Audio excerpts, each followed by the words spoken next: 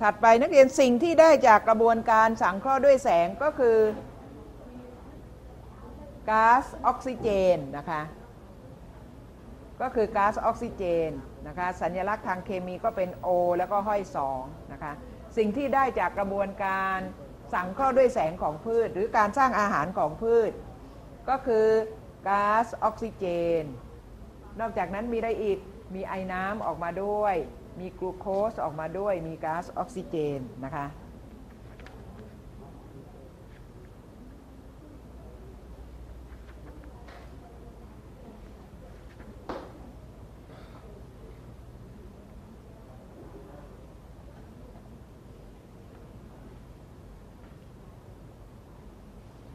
นักเรียนชั่วโมงหน้าเราก็จะมาดูเกี่ยวกับแก๊สที่ได้จากการสังเคราะห์ด้วยแสงของพืชว่าเป็น ออกซิเจนจริงหรือเปล่านะคะ นักเรียนเตรียมสาหร่ายหางกระรอกนะเอาสาหร่ายหางกระรอกมาแล้วก็เอาแก้วครอบเอาไว้แล้วเก็บแก๊สไว้นะคะ ดูว่าเป็นออกซิเจนหรือไม่ แต่ถ้าเป็นต้นที่อยู่ในอากาศ เราเก็บลำบากหน่อยนะคะ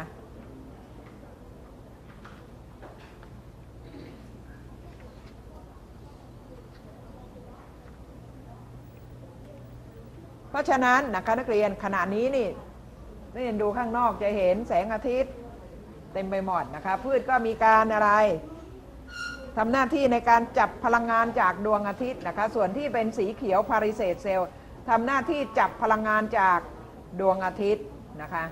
จับพลังงานจากดวงอาทิตย์ แล้วก็มีน้ำมีก๊าซคาร์บอนไดออกไซด์นะคะแล้วก็ผลิตก็จะได้กลูโคสออกมา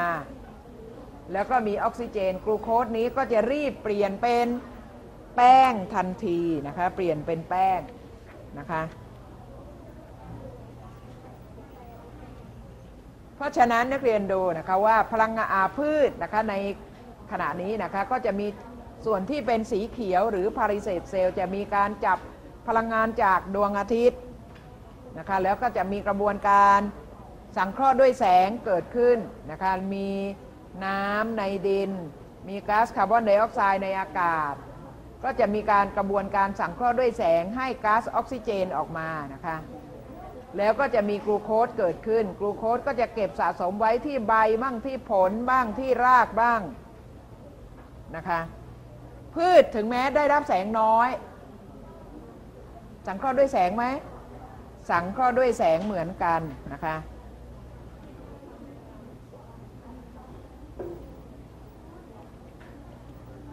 เรียนดูนะคะพืชถึงแม้บางครั้งได้รับแสงน้อย ก็จะมีการสังเคราะห์ด้วยแสงเหมือนกันนะคะคาร์บอนไดออกไซด์จากไหน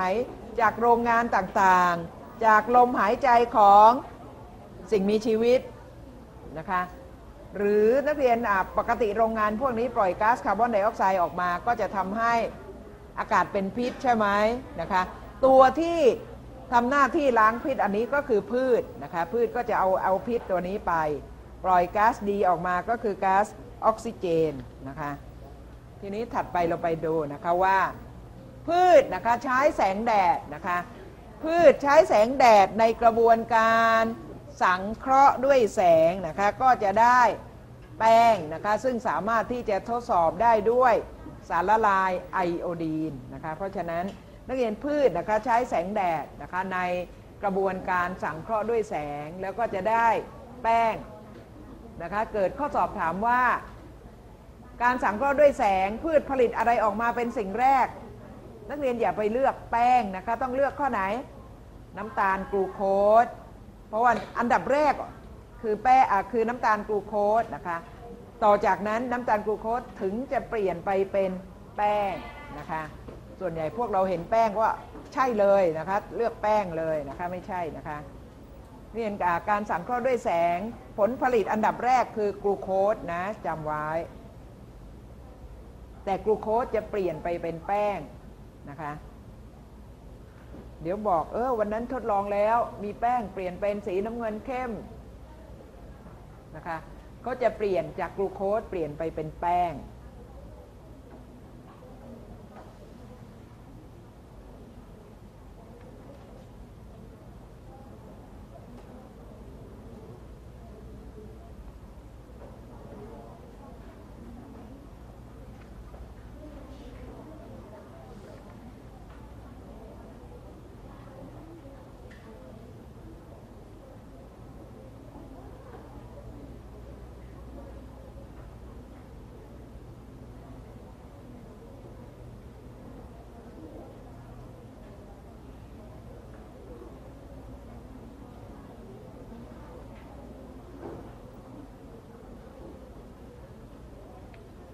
ผ่านนะนักเรียนอันนี้สไลด์นี้เสร็จนะเอาเสร็จแล้วดูถัดไปนะคะเอาดูภาพนี้นะคะนักเรียนดู อันนี้ก็แสดงถึงนักเรียนสไลด์นี้หมายความว่าไงลองอธิบายดูเอาภาพนี้อธิบายอย่างไร วรวุฒิภาพนี้อธิบายว่า พืช พืชสีเขียว ได้รับอะไร ได้รับแสง พลังงานจากแสง แล้วได้รับอะไรอีกก๊าซคาร์บอนไดออกไซด์นักเรียนพืชสีเขียวได้รับพลังงานจากดวงอาทิตย์ ได้รับก๊าซคาร์บอนไดออกไซด์มีน้ำนะคะแล้วก็มีแร่ธาตุอาหารในดิน แล้วทำให้ผลิตอะไรออกมาก๊าซออกซิเจน สู่อากาศนั่นเองนะคะสู่อากาศ นะคะ ถัดไปนักเรียนอย่างดูใบไม้พวกนี้นะคะ ส่วนที่เป็น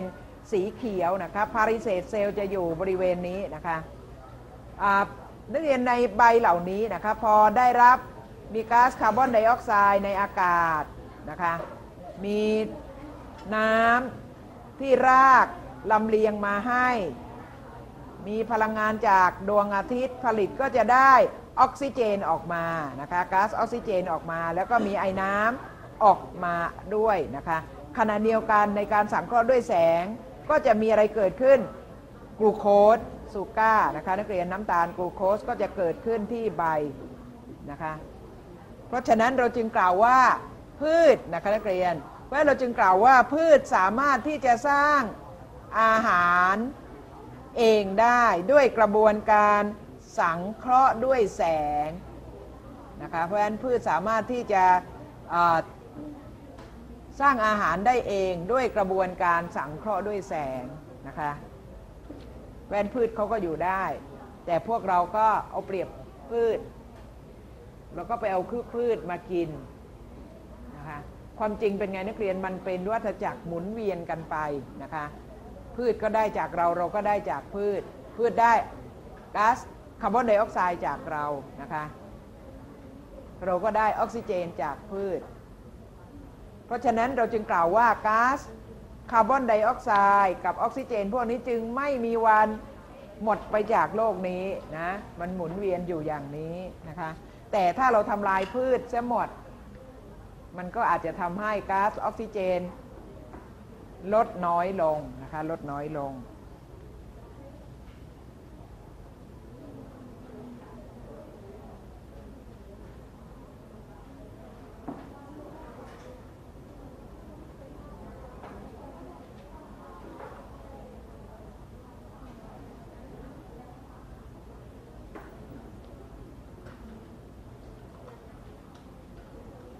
อาใครยังไม่เสร็จนะ เสร็จแล้วนะ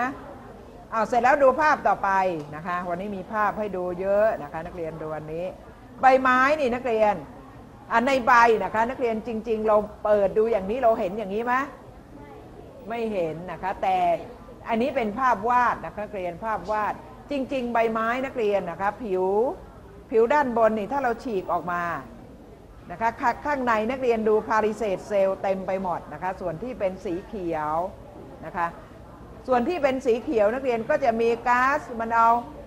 ก๊าซคาร์บอนไดออกไซด์เข้าทางไหน เข้าทางปากใบนะคะ ไม่ได้เข้าทางขนรากนะ ขนรากนั่นอะไร น้ำนะคะน้ำคาร์บอนไดออกไซด์เข้าทางปากใบ แล้วออกซิเจนออกทางไหน ออกทาง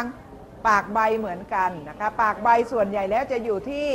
ท้องใบนะคะอยู่ที่ท้องใบ พอสังเคราะห์ด้วยแสงเสร็จมันได้อาหารออกมาคือ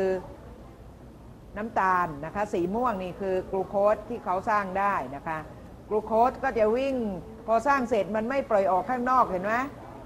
มันอยู่ข้างในมันเก็บเอาไว้ที่ใบ แล้วก็ส่งไปเลี้ยงส่วนต่างๆของต้นนะคะส่วนพลังงานจากดวงอาทิตย์ก็จะมาทาง เข้ามาทางนักเรียนตรงผิวใบนะคะผิวผิวบนของใบนะคะ ส่วน